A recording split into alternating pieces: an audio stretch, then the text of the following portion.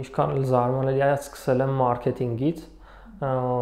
հիմնականում համագործակցում էինք այդ ժամանակ հա-, հայկական կազմակերպությունների հետ ու տրամադրում էինք մարքեթինգային ստրատեգիաներ ես ընկերոջս հետ, այս ինչ-որ փոքր, նույն այդ ժամանակ պատկերացում չունեի, որ գոյություն ունի recruitment, գոյություն ունի մարդկային ռեսուրսների կառավարում, բայց հետագայում արդեն սովորելու հետ մեկտեղ սկսեց այդ հետաքրքրությունը առաջանալ ու առաջի փորձս որպես մարդկային ռեսուրսների կառավարում սկսեցի Incredo ընկերությունից թիմը շատ փոքր էր, մոտ 4 հոգի, սակայն հետագայում մոտ 2 տարվա ընթացքում այդ թիվը հասավ 30 35 հոգու։ Ու հետագայում ուշադրությունը սկսեցի ավելի շատ դարձնել recruitment-ին, որովհետև նախ մարդկային շփումը իմ մոտ ավելի լավ էր ստացվում ու ավելի դինամիկ էր, իմ կարծիքով ավելի դինամիկ էր, քան մարդկային ռեսուրսների կառավարումը,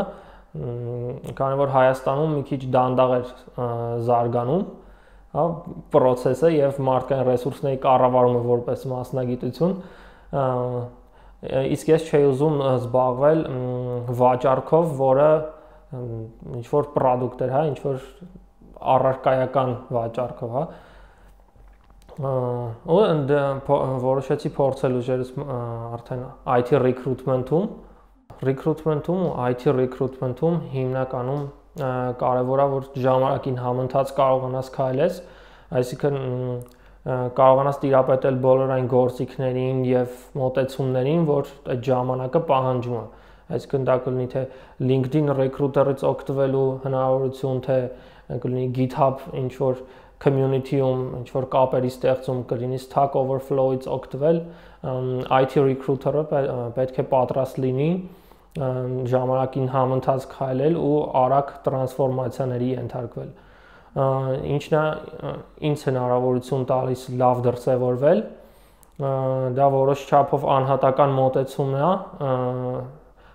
ցանկացած IT պրոֆեսիոնալների հետ ու երկրորդը դա բավականին մանրակրկիտ ձևով ձևավորված նետվորքն է, որը հնարավորություն է տալիս ավելի քիչ ժամանակ ծախսել թիրախավորման վրա։ Սոցցանցերը միանշանակ շատ կարևոր են ներկա ժամանակներում նամանավանդ IT recruitment-ի համար խորհուրդ եմ ես տալիս օգտագործել LinkedIn Recruiter-ը կամ ավելի մասնագիտական, եթե մոտեցում են ուզում ցուցաբերել, կարող եք օգտագործել նաև Stack Overflow կամ GitHub կամ ենթադրենք դիզայնի համար Behance միանշանակ անհրաժեշտ է որ IT recruiter-ը տիրապետի գոնե բոլոր այն տերմինոլոգիային եւ մոտավոր պատկերացում ունենա այդ մասնագիտության վերաբերյալ ինչ ինչի համար նա ընդունում է, հա, այդ մարդկանց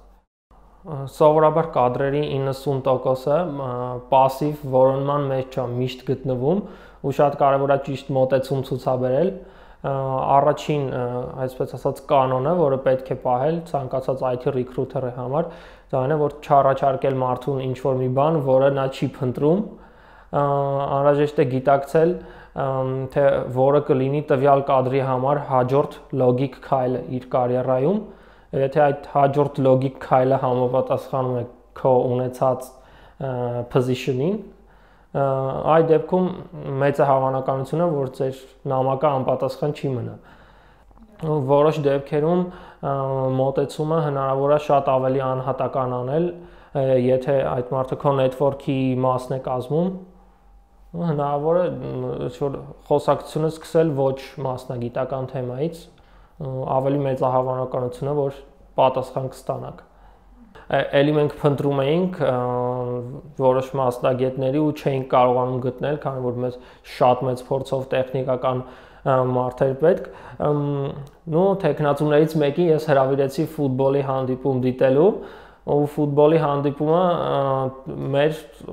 սիրած թիմերի դեմ էր ու պայմանավորվածությունը շատ ոչ ֆորմալ եղավ, որ եթե իմ թիմը հաղթում է, դու վաղը ներկայանում ես հարցազրույցի ու ստացվեց անհատական մոտեցումը, քանի որ իմ թիմը բնականաբար ավելի ուժեղ էր։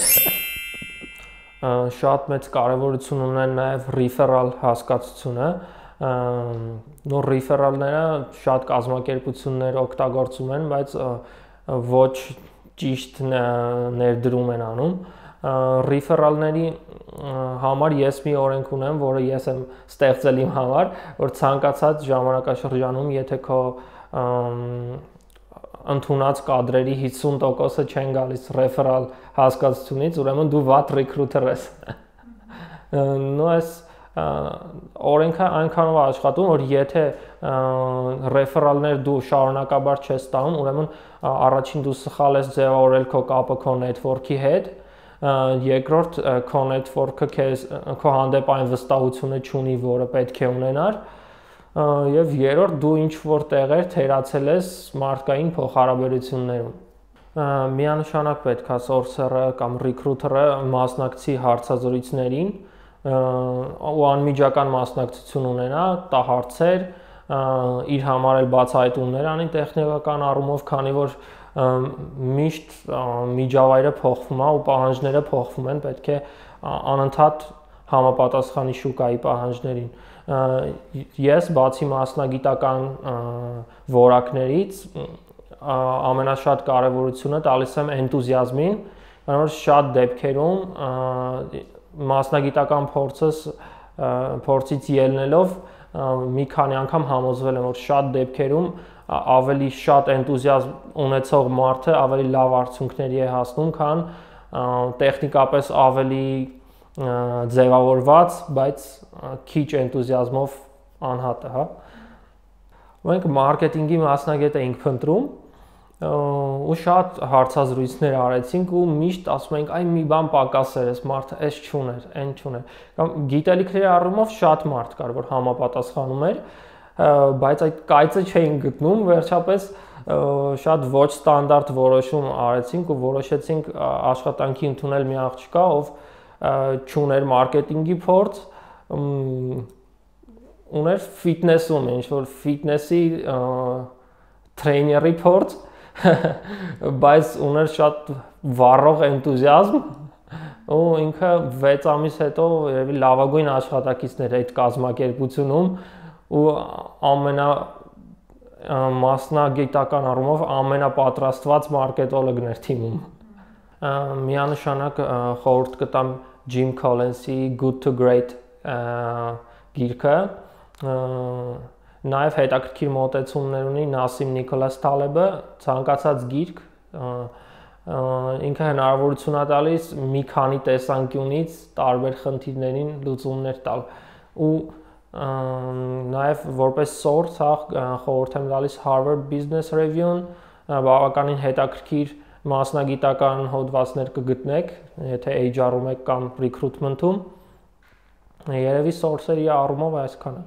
Ովքեր նոր առաջի քայլերն են անում HR ոլորտում կամ recruitment-ում, խորհուրդ եմ տալիս չվախենալ ձախողվելուց։